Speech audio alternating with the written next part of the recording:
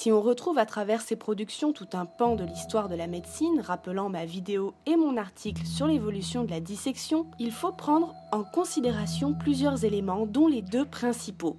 La vision du corps dans le passé, mais aussi l'évolution de l'histoire de l'art car les œuvres autour de l'anatomie ont été le fruit d'une collaboration entre anatomistes et artistes, et les séroplasties, ces sculptures de cire, n'échappent pas à cela.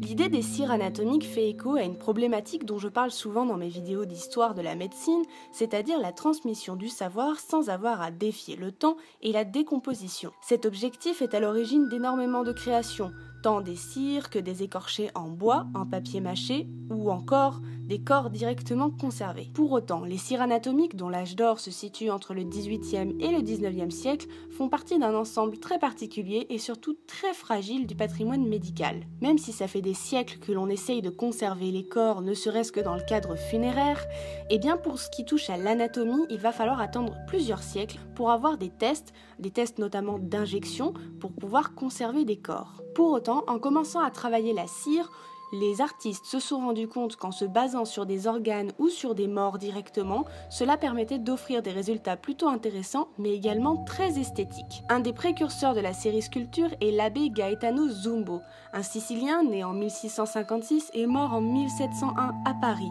Et oui, cet autodidacte de talent, reconnu en Italie par les grands noms et les couronnés, s'est également déplacé pour son art et pour se former. Ainsi, il a également travaillé en France puisqu'il a collaboré avec le chirurgien Guillaume Desnoux, avec qui il s'est brouillé, et c'est après avoir conçu une de ses pièces maîtresses, considérée comme la plus ancienne cire anatomique, qu'il mourut la même année, emportant le secret de ces cires et de leur composition dans sa tombe. Dans les grands noms des artistes liés à la cire en Italie, on retrouve Felice Fontana, dont je vous ai parlé dans mon article en lien avec le docteur Ozu, qui va permettre la création d'un atelier dédié à cet art à Florence sous le nom de la Specola, qui est actuellement un musée, et le tout avec l'aide financière du grand-duc de Toscane, Léopold Ier, très intéressé par ses créations. On y retrouve Fontana, mais aussi Clemente Susini et Giuseppe Ferrini, que des grands noms du milieu qui ont formé et travaillé avec d'autres artistes dans leurs ateliers. Si le grand-duc de Toscane s'intéresse à tout cela, son frère Joseph II, très intéressé également, va passer des commandes à l'atelier et ainsi dynamiser les productions afin de les recevoir chez lui à Vienne. En parallèle, les modèles de cire de haute qualité produits en Italie s'avèrent recherchés également par les médecins se trouvant en Angleterre pour illustrer leurs enseignements. Même si là-bas certains noms se sont démarqués, comme Joseph Town plus tardivement au 19e, certains pays étaient pourtant dépourvus de sculpteurs de cire. On considère alors le cœur de cette discipline à Florence, en Italie, bien qu'on retrouve aussi des liens avec Bologne, qui constituait une ville majeure dans l'enseignement de l'anatomie en Italie. Face à tout ce succès italien, les anatomistes et les médecins des autres pays comprennent qu'il y a des choses à creuser en termes d'anatomie artificielle, et même Napoléon Bonaparte a souhaité une reproduction du cabinet du grand-duc tellement il était impressionné. Mais tout ne s'est pas déroulé comme prévu et un certain nombre de cires Fontana ont atterri à Montpellier. Avec le temps et la demande grandissante, divers ateliers vont fleurir en Europe. En France, nous avons en particulier la maison Tramont, mais aussi la maison Desrolles et bien sûr les fabrications classiques Ozu dans un autre style. Le but de toutes ces fabrications en série et en atelier est de fournir les cabinets, les musées universitaires et les amphithéâtres proposant des cours de médecine ou des cours d'art. Pour autant, toutes les cires n'ont pas les mêmes fonctions ni les mêmes enjeux, ni même le même public. Et cela est important à saisir pour bien comprendre la multitude de motifs qui existent et de techniques. Si la cire est agréable à travailler et donne des résultats très intéressants en termes de texture, il faut évidemment un véritable talent et beaucoup de travail pour réussir à créer des pièces. Ces objets servent un peu de zoom sur une partie du corps et permettent d'observer en 3D, en externe et en interne. Les nerfs ou les veines peuvent être filés avec la cire directement sur des fils de soie. En général, une fois le corps disséqué et les moulages faits en plâtre, cela permettait de faire des copies en cire et les moulages servaient de base pour fabriquer des séries. Une fois le moule sec, la cire était placée couche par couche, dont la première était la plus travaillée puisque c'était celle qui allait être à l'extérieur de la sculpture, ce qui demande un soin et une coloration très précis. Les éléments sont alors rassemblés entre eux et soudés avec de la cire à nouveau, puis le vernis est posé permettant de donner cet effet si particulier des chairs brillantes et de la peau mate. Et oui, s'il y a bien un domaine où l'on retrouve des cires, c'est bien chez les chrétiens catholiques. Que ce soit des ex-voto de membres du corps à faire brûler en vue de la guérison, des éléments de reliques et bien sûr des gisants en chasse de verre grandeur nature, le travail de la cire est très présent dans l'art religieux et nous le verrons, la position des Vénus anatomiques est similaire à celle des gisants que l'on trouve dans les églises. Ces gisants sont non seulement des œuvres d'art, mais surtout des objets de dévotion pour les croyants. Ce ne sont donc pas juste des ornements d'église, mais ils ont bien une fonction également dans le culte. Les pièces anatomiques constituent un large ensemble des collections de cire puisqu'elles représentent souvent grandeur nature des organes et ou des parties du corps. Présentées sur un socle en bois ou encore sous dôme de verre, elles permettent une observation en trois dimensions de l'anatomie. On peut y découvrir le corps avec sa peau, mais aussi écorché avec des détails, des chairs ou des nerfs ou encore des veines. Les ateliers les plus célèbres, appelés sous l'appellation de maison, comme la maison Tramont par exemple, vendaient des cires considérées aujourd'hui comme de véritables œuvres d'art. Ainsi, ces cires étaient également très utiles pour répertorier visuellement les maladies et leurs symptômes à des époques où elles permettent un très bon complément aux planches et aux gravures. Maladies de peau, maladies infectieuses et sexuellement transmissibles, tout y passe et tous les organes également. Le tout agrémenté avec des vrais poils humains ou animaliers. Certaines œuvres autour des pathologies, et en particulier certains bustes, avaient pour rôle de prévenir des dangers d'une mauvaise vie par exemple. Un usage tout à fait étonnant. Les Vénus. Longtemps connues uniquement des professionnels et des passionnés, elles ont repris leur place de superstars de la cire dans le cœur des curieux depuis quelques années. En même temps, comment ne pas tomber en pamoison devant des œuvres pareilles? En taille réelle, ces Vénus poses lascives et aux organes exposés fascinent. La plus ancienne aurait été créée en 1780 à la Specola, d'où viennent d'ailleurs les plus belles Vénus anatomiques. L'objectif est d'intéresser les spectateurs à l'anatomie, puisque, je le rappelle, des dissections ont lieu pendant longtemps, ouvertes au public, et tout ce qui touchait à l'anatomie féminine drainait beaucoup plus de monde par rapport aux dissections sur les hommes, qui accueillaient du monde, mais un petit peu moins. En réalité, ce qui intéressait le public, un public composé d'hommes et de femmes d'ailleurs, c'est bien de comprendre eh bien, tout ce qui touche aux organes, et notamment aux organes féminins, puisque ces derniers sont cachés, et bien sûr tout ce qui touche à la procréation, puisque pendant très longtemps, on n'a pas forcément compris comment tout cela fonctionnait, et c'est bien normal puisqu'il a fallu des siècles de dissection et d'études pour le comprendre. Ces Vénus ont donc été créées pour aborder la présentation du corps sans qu'il n'y ait de rappel à la mort, à la souffrance, ni à la putréfaction et au fluide. Une Vénus propre pour un enseignement propre, sous des traits considérés comme rassurants. Les objets d'apprentissage. Parce que la cire évite la dissection, elle permet aussi d'apprendre le corps humain, et en particulier l'accouchement car le visuel est souvent plus parlant que la théorie, les Vénus avec un fœtus ou bien en cours de délivrance permettaient un formidable support didactique pour les médecins et les sages-femmes. Les théâtrini.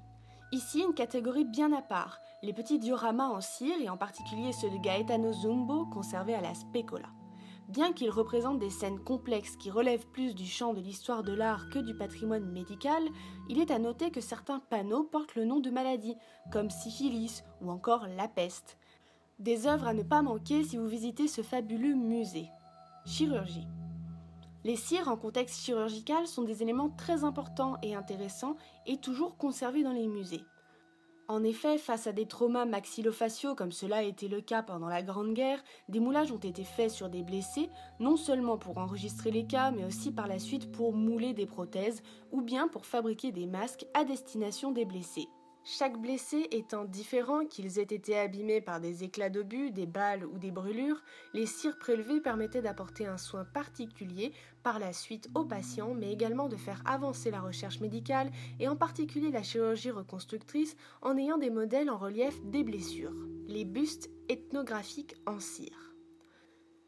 Les bustes en cire de type ethnographique représentent un cas particulier devenu tabou avec le temps puisqu'ils sont nés des empreintes de personnes issues de tribus ou de pays étrangers à des fins d'études, de présentation et dans une démarche ethnographique et parfois d'anatomie comparée. L'objectif étant de montrer les différentes couleurs de peau, les différents physiques, mais également parfois les différents ornements autour du visage ou de la tête, caractéristiques de chaque individu et de sa culture. Ces empreintes n'étaient pas nécessairement faites en post-mortem, mais pouvaient être prises du vivant des personnes. Ces bustes restent très impressionnants à voir puisque parfois ils représentent des personnes de tribus n'existant plus, ou du moins de personnes n'ayant plus certaines caractéristiques physiques qui se sont perdues avec le temps et avec le mélange des populations. Le cas Marie Tussaud. Si Marie Tussaud n'est pas forcément le nom qui nous vient à l'esprit quand on parle de cire anatomique, elle reste néanmoins une artiste autour du travail de la cire reconnue à l'échelle mondiale. Et oui, même si Marie Tussaud a donné son nom à des musées dans le monde entier, c'est une femme plutôt originale pour son époque que je tiens à vous présenter. Cette Strasbourgeoise, née en 1761, est formée à la sculpture de la cire par un certain Curtius, ayant tiré le portrait de nombreux personnages historiques, comme Madame du Barry par exemple.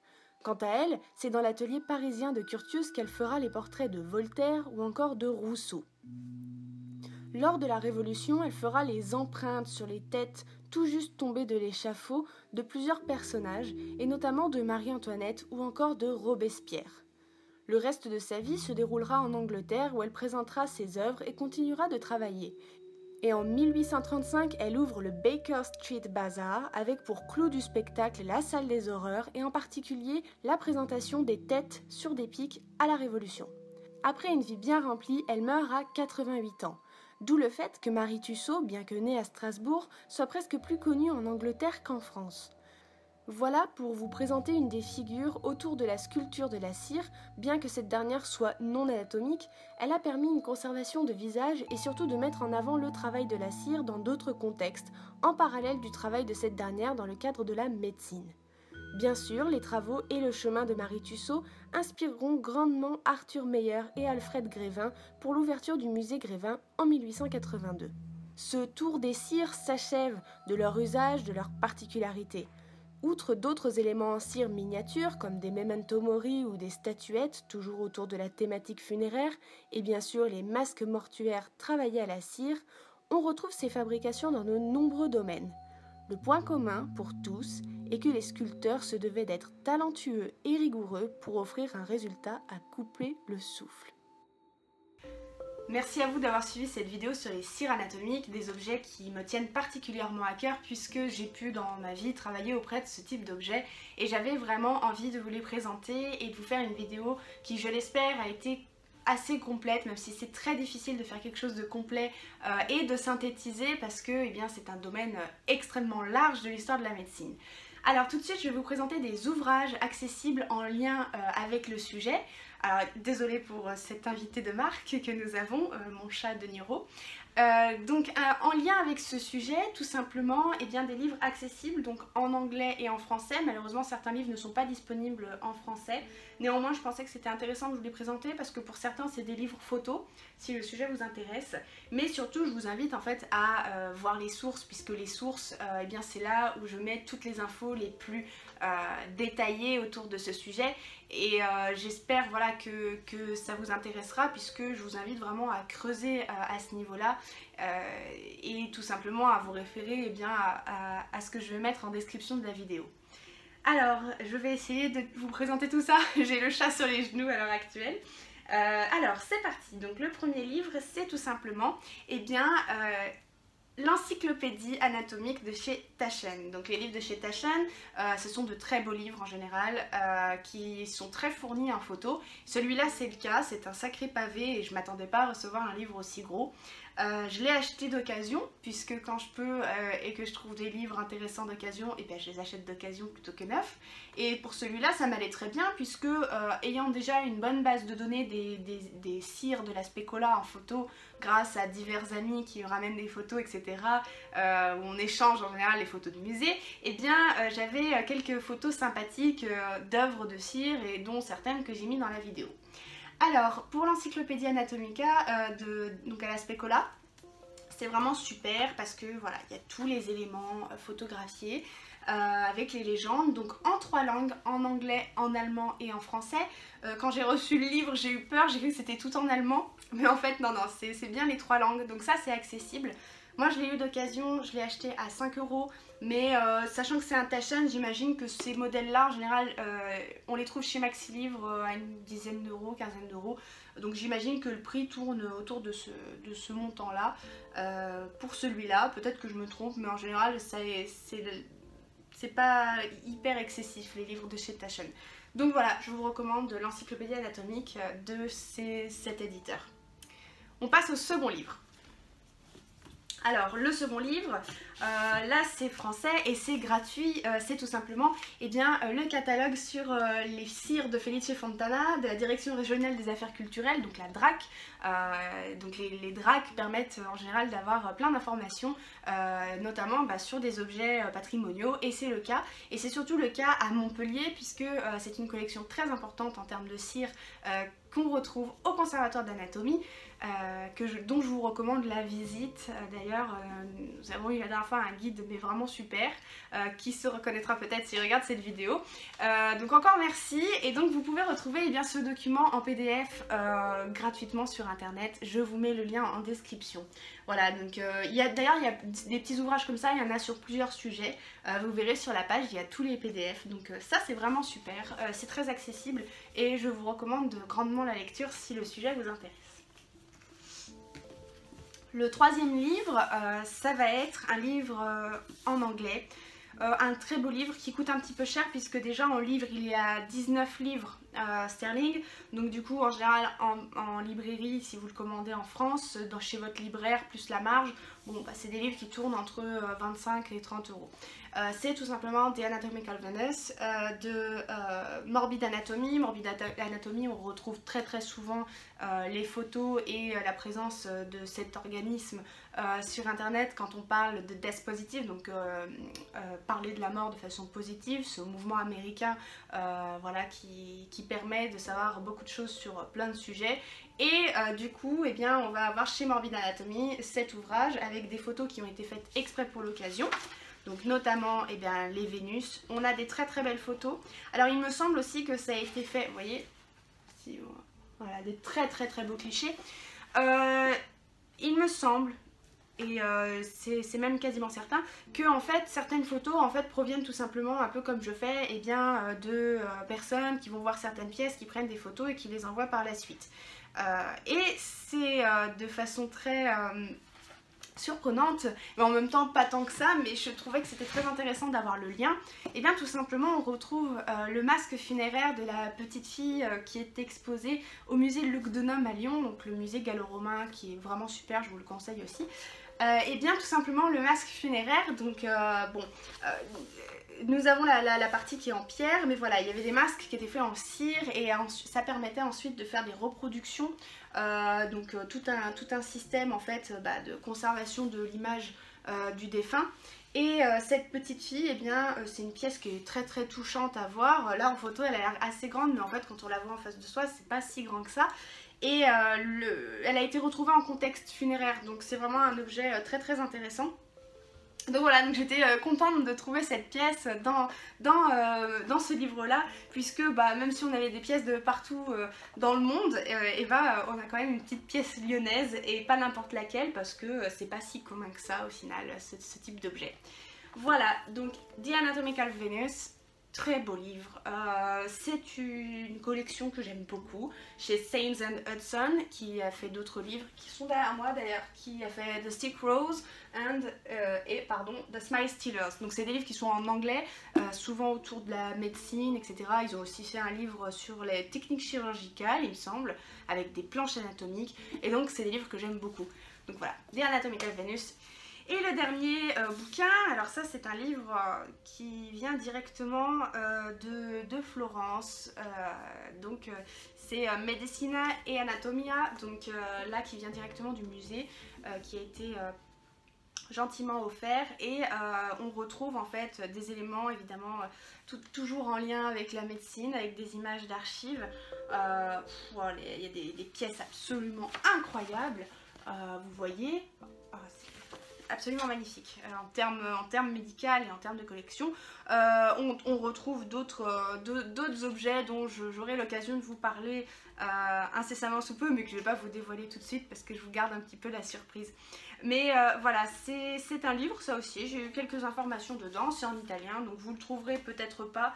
je ne sais pas si vous, ouais, je sais pas si vous le trouverez en vente, mais en tout cas, si vous tombez dessus un jour euh, à l'occasion, eh bien celui-là est très très bien. Dis à très bientôt pour, euh, euh, la suite en fait et, et, bien pour la prochaine vidéo qui arrivera j'imagine en 2020 puisque nous sommes déjà en fin d'année. Voilà, je vous dis à très bientôt.